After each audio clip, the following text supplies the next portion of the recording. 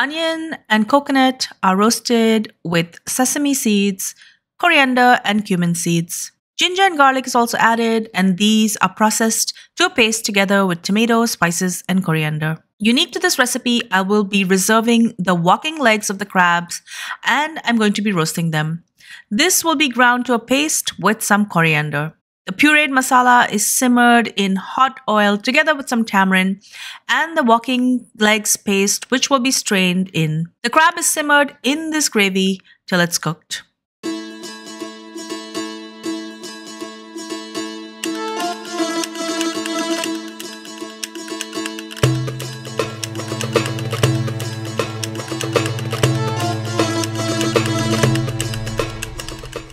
Going to be using blue swimming crabs for this recipe.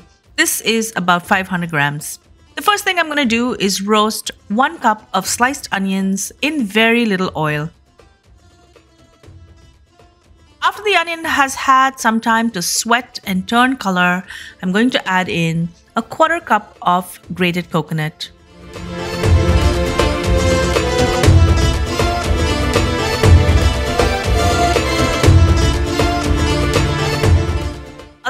Coconut to brown and then I'm going to move everything to one side. Add a bit more oil and add in 1 teaspoon of coriander seeds, 1 teaspoon of cumin seeds and 1 tablespoon of white sesame seeds.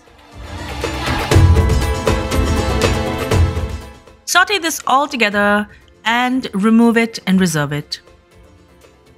I'm now going to take advantage of the hot pan and I'm going to add in 4 garlic cloves as well as a 1 inch piece of ginger that I've thinly sliced. Once this has a bit of color, I'm going to take it out and allow it to cool down as well. Add a bit more oil to the hot pan and I'm going to start to remove the walking legs from the crabs.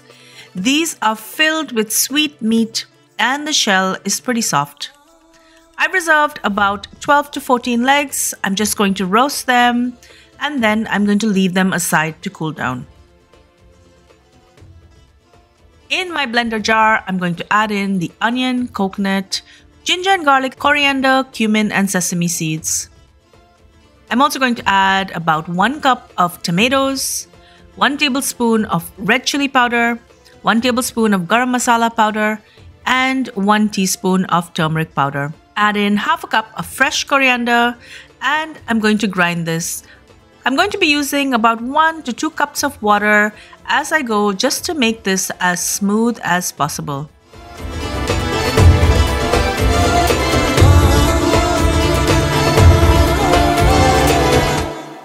Now I'm going to grind the walking legs together with a half cup of coriander. I'm going to add about a half cup of water or as required.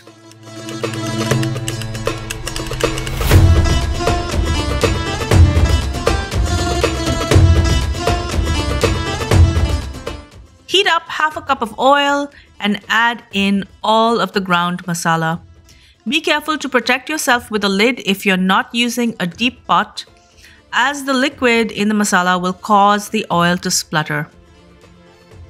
Cook this for a few minutes.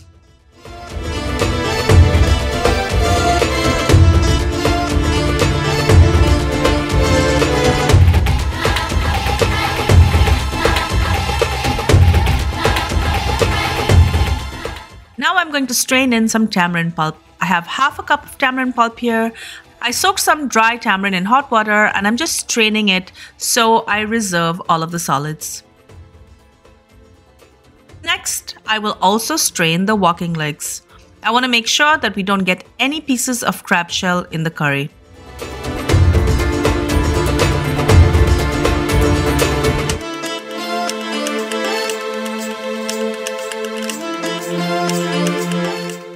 Mix this in.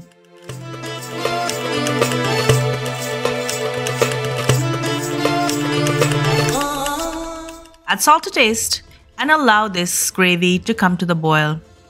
Then I'm going to add in my crabs and I'm going to cover this and allow it to cook for 15 to 20 minutes, stirring in between. Enjoy.